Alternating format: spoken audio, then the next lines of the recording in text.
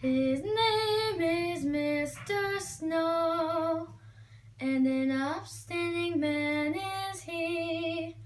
He comes home every night in his round bottom boat with a net full of herring from the sea. An almost perfect bow, as refined as a girl could wish.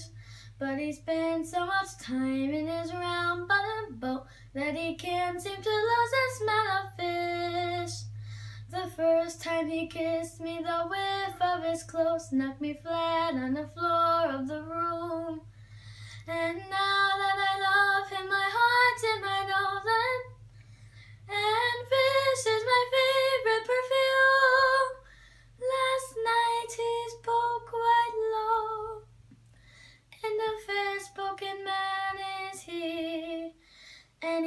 said, Miss Pepperidge, I like it fine. If I could be wed with a wife, and indeed, Miss Pepperidge, if you'll be mine, I'll be yours for the rest of my life. Next moment we were promised,